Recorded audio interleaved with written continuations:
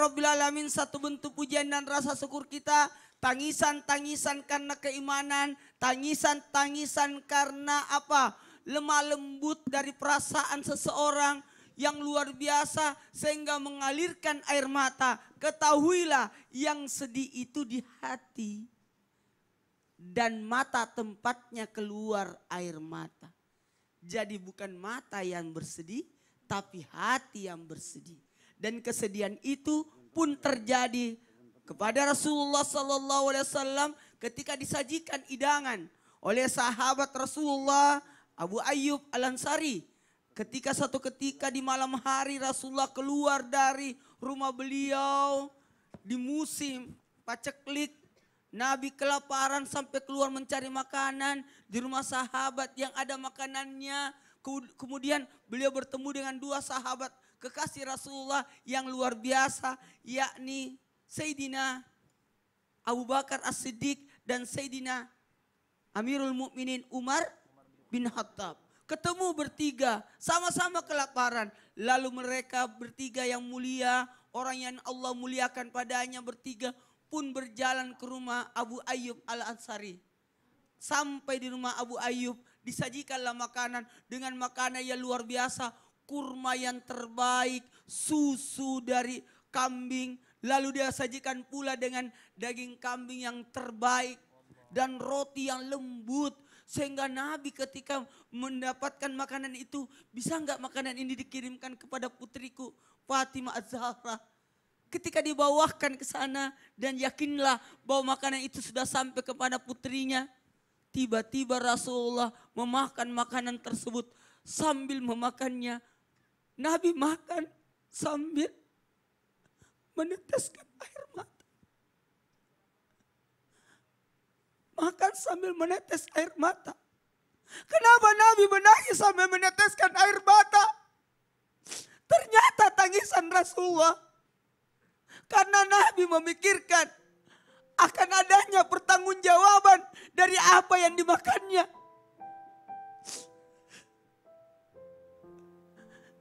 Pernahkah kita menangis karena makan? Ini makanan akan diminta pertanggungjawabannya masuk ke dalam tubuh kita. Mengalir jadi darah. Dari daging. Sehingga nanti apakah kita memikirkan atas apa yang masuk dalam tubuh kita? Pertanyaan, apakah kita bisa mensyukur nikmat Apakah kita tidak kubur nikmat? Tadi saya terharu ketika Ustadz Kasih Head membahas saudara kita yang ada di Yaman. Yang kelaparan. Sementara kita kekenyangan. Bahkan banyak makanan dibuang. Bagaimana dengan saudara kita? Yang kelaparan yang kekurangan makanan. Ibu pernah nangis karena makan sesuatu. Karena bisa jadi anakku akankah dia makan. Maaf. Saya rasa Mas Padli nanti akan iya. nangis ketika makan. Bareng sama anak-anak yang lain. Sementara Rafa di Malaysia. Iya. Apakah makan dengan makanan yang sama? Coba Sapa Rafa di rumah, ya lagi nonton. Assalamualaikum Rafa. Nanti di mana pun berada ya insya Allah Papa akan selalu mendoakan Rafa supaya jadi anak yang sehat, yang soleh dan kuliahnya yang dan kuliahnya lancar. Amin amin ya robbal. Jazakallah terima kasih banyak Ustadz Maulana atas penjelasannya. Ya Allah hari ini full dengan kesedihan. Dan satu lagi Rasulullah juga begitu sering menangis ketika Rasulullah sedang sholat bagaimanakah agar kita bisa juga menangis seperti Rasulullah akibat begitu khusyuk dalam surat kita. Yuk kita minta penjelasan kembali dari guru kita Ustadz Kasif Hir. Mohon izin waktunya silakan. Rasulullah selain beliau pemberani di medan perang adalah orang yang paling lembut hatinya. Paling mudah menangis di hadapan Allah Subhanahu wa taala karena beliau adalah manusia yang paling mengenal Allah Subhanahu wa taala. Bahkan Nabi ketika Isra Mi'raj Nabi mengatakan uritun nar saya diperlihatkan neraka. Lau alimtum ma alimtu la bakaitum kathira. wala dhahiktum qalila. Kalau seandainya kalian tahu apa yang saya lihat waktu saya pergi ke neraka, diperlihatkan neraka, tentu pasti kalian akan lebih sering banyak menangis dibandingkan kalian sering tertawa. Rasulullah SAW sholat menjadi sarana dia berjumpa dengan Allah Subhanahu Wa Taala. Ketika sholat beliau menangis. Ketika sholat nggak pernah mau sebentar bermesraan dengan Allah. Dia akan berlama-lamaan. Padahal dosanya sudah diampunin Allah yang lalu dan yang akan datang. Tapi menangis karena takut kepada Allah, karena cinta kepada Allah Subhanahu wa taala sampai disebutkan oleh Aisyah radhiyallahu taala anha hatta tawarramat qadamah sampai bengkak kakinya Nabi SAW saking lamanya beliau berdiri sholat dan mata beliau sampai hitam karena lamanya beliau menangis sampai Aisyah pengen bertanya penasaran kepada Rasulullah. Ya Rasulullah laqad ghafarallahu laka ma taqaddama min dzambik wa ma ta'akhkhar. Eh Rasul, kekasihku, suamiku, dosamu kan sudah diampunin. Kenapa engkau menangis dalam sholat engkau? Kenapa engkau berlama-lama ketika engkau sholat? Apa kata Nabi Shallallahu Alaihi Wasallam? Afala akuna abdan syakura. Memangnya nggak boleh saya menjadi hamba yang bersyukur wahai Aisyah.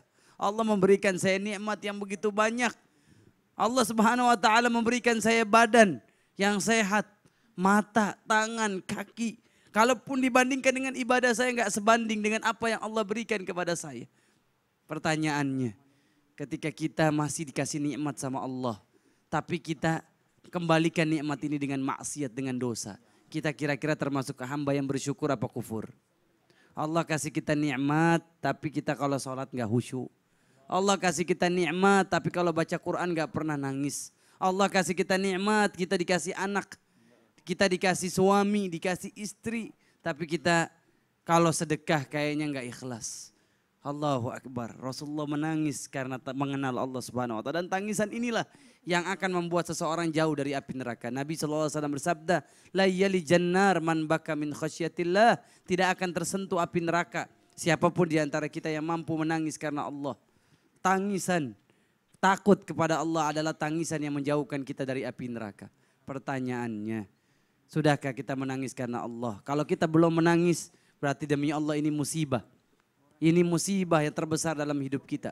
Kenapa bisa jadi gara-gara dosa kita? Karena seorang hamba ketika dia berbuat dosa, satu dosa satu titik hitam. Satu dosa satu titik hitam. Satu dosa satu titik sampai hatinya hitam semuanya. Sampai Allah berfirman, "Kalla bal rona ala makanu yaksibun." Hati mereka sudah karatan.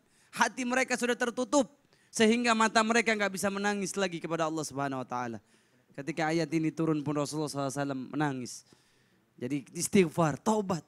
Kalau seseorang punya mobil, punya rumah, kita katakan itu nikmat bukan. Oh yang, diketak, yang dikatakan nikmat adalah ketika sholat kita bisa menangis, itu nikmat. Justru ketika kita punya harta dunia belum tentu Allah sayang sama kita. Tapi kalau Allah memberikan kita taufik hati kita mudah menangis, di situ Allah mencintai kita. Kenapa? Karena Allah nggak mau kita masuk ke dalam kategori penghuni api neraka. Maka jamaah rahimahumullah. Insya Allah Allah Subhanahu wa taala nanti saya akan ajarkan amalan agar hati kita lembut. Amin. Hati kita mudah menangis. Masya Allah, jazakallah khair. Terima kasih banyak Ustaz Kasifir atas penjelasannya. Mudah-mudahan kita dijadikan orang-orang yang bisa khusyuk dalam sholatnya. Sehingga dalam setiap uh, sholat kita bisa menetes air mata kita. Amin, amin ya robbal alamin. Nanti Masya Allah buat jamaah yang ada di rumah langsung aja kita dengarkan. Ada kisah teladan yang akan dibawakan oleh guru kita Ustazah. Oke, mohon izin waktunya silakan Bun, uh, Ustazah. Baik. Allahumma salli wa sallim mubarik alaih. Nabi Muhammad Shallallahu Alaihi Wasallam pernah pada suatu malam membacakan firman Allah, Ya Allah, kalau engkau menyiksa mereka, mereka adalah hamba-hambamu. Dan kalau engkau menyelamatkan mereka, Ya Allah, sesungguhnya engkaulah yang maha perkasa. Lalu Rasulullah Shallallahu Alaihi Wasallam menaikkan tangannya, Ya Allah, umati, umati, umatku, umatku, Ya Allah. Dan terus menerus Rasulullah Shallallahu Alaihi Wasallam mengalirkan air matanya tanpa henti-henti. Sampai kemudian malaikat Jibril bertanya kepada Rasulullah, kenapa wahai Rasul, kenapa engkau menangis? Rasulullah Shallallahu Alaihi Wasallam memikirkan kita teman-teman sekalian. Apa jadinya kita nanti di hari akhir? Lalu kemudian Allah menyampaikan pesan melalui malaikat Jibril dan malaikat Jibril menyampaikan kepada Rasulullah Shallallahu Alaihi Wasallam, bahwa Allah telah membuat Rasul ridha kepada umatnya dan Allah tidak akan pernah membuat Rasulullah SAW bersedih. Sampai subuh hari Rasul terus menerus menangis sampai kemudian Abu Hurairah radhiyallahu anhu pada akhirnya bertanya kepada Rasul, "Kenapa Rasul?" Lalu Rasulullah SAW mengatakan kepada Abu Hurairah, "Aku mengkhawatirkan umatku, aku berharap agar Allah memberikan syafaat kepada mereka." Dan Allah memberikan syafaat kepada aku dan hamba-hambaku bisa mendapatkan syafaat itu asalkan mereka tidak menyekutukan Allah Subhanahu wa taala. Begitulah Rasulullah SAW teman-teman sekalian senantiasa terus menerus memikirkan umatnya. Hal itu juga terjadi pada saat detik-detik wafatnya Rasulullah SAW. Sebelum wafatnya Rasulullah SAW, Rasul berziarah ke pemakaman Baqi dan kepada para syuhada Uhud.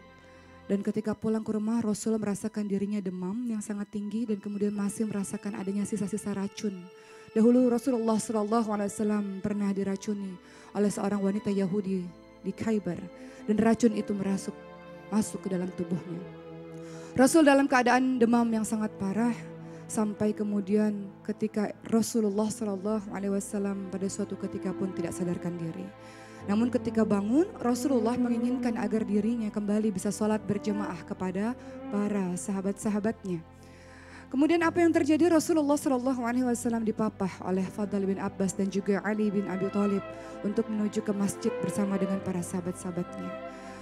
Pernah pada suatu ketika Rasulullah Shallallahu Alaihi Wasallam dalam keadaan sakit yang sangat parah teman-teman sekalian, seolah-olah hendak mengajarkan kepada umatnya, kepada kita semua. Rasul berkata kepada para sahabat-sahabatnya pada saat itu di tempat itu, siapa di antara kalian yang pernah aku sakiti dalam kehidupan ini? Siapa yang pernah aku cambuk dalam kehidupan ini? Siapa pun yang pernah aku cambuk, maka balaslah pada hari ini. Begitu kata Rasulullah Sallallahu Alaihi Wasallam.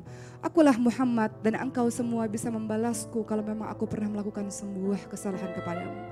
Kemudian Rasul juga mengingatkan siapa yang pernah hatinya tersakiti karena perkataanku, akulah Muhammad dan engkau bisa membalasnya. Siapakah yang aku pernah berhutang, maka hari ini akan aku balas, akan aku bayar hutang-hutangmu. Seluruh sahabat-sahabat tahu seakan-akan ini adalah sinyal bahwa Rasulullah Shallallahu Alaihi Wasallam akan segera kembali kepada Allah Subhanahu Wa Taala. Semua orang menangis, namun ada seorang yang bernama Ukasya mengatakan, Rasul engkau pernah memukulku Rasul, engkau pernah mencambukku wahai Rasulullah Shallallahu Alaihi Wasallam maka akan aku balas. Dan semua orang pada saat itu menangis dan Ukasya pun pada akhirnya berdiri dan bersiap-siap untuk membalas, untuk mencambuk Rasulullah Shallallahu Alaihi Wasallam. Rasulullah Shallallahu Alaihi Wasallam membuka bajunya dan bersiap-siap untuk dicambuk oleh Ukasya. Dan apa yang dilakukan oleh Ukasya? Pada saat semua sahabat mengatakan Ukasya, Rasulullah sedang sakit. Seluruh sahabat bahkan rela mempertaruhkan nyawanya untuk keselamatan Rasulullah. Dan engkau bisa-bisanya memukul atau mencambuk Rasulullah Shallallahu Alaihi Wasallam pada sebuah peristiwa yang Rasul tidak sengaja mencambukmu. Kemudian apa yang dilakukan Ukasya? Ukasya tidak peduli.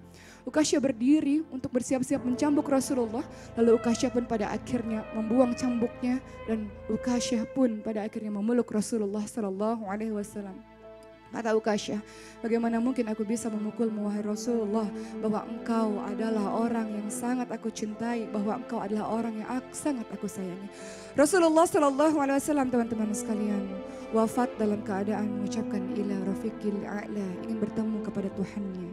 Teman-teman sekalian, Rasulullah Shallallahu Alaihi Wasallam sebelum wafatnya mengingatkan kita semua untuk senantiasa sholat, dan menjaga orang-orang yang berada di bawah kita. Rasulullah mengajak kita untuk senantiasa menjaga hubungan hablum minallah dan hablum minanas. Dan apa yang Rasulullah Sallallahu Alaihi Wasallam lakukan di hari akhir teman-teman sekalian. Rasulullah ada di padang mahsyar pada saat semua orang sibuk dengan diri mereka masing-masing. Pada saat semua nabi sibuk dengan dirinya sendiri-sendiri. Rasulullah Sallallahu Alaihi Wasallam memanggil, di mana umatku, di mana umatku, di mana umatku. Karena Rasul hendak memberikan minum dari telaga Kautsar. Rasulullah Wasallam juga berada di hujung titian surat dan bertanya kepada Allah, berkata kepada Allah, wahai Allah selamatkan umatku, selamatkan umatku. Dan Rasulullah Shallallahu Alaihi Wasallam ingin agar seluruh umatnya masuk ke dalam syurga bersama dengan Rasulullah Sallallahu Alaihi Wasallam. Amin, amin. ya Allahumma salli wa sallim wa barik alaihi teman-teman sekalian. alaihi.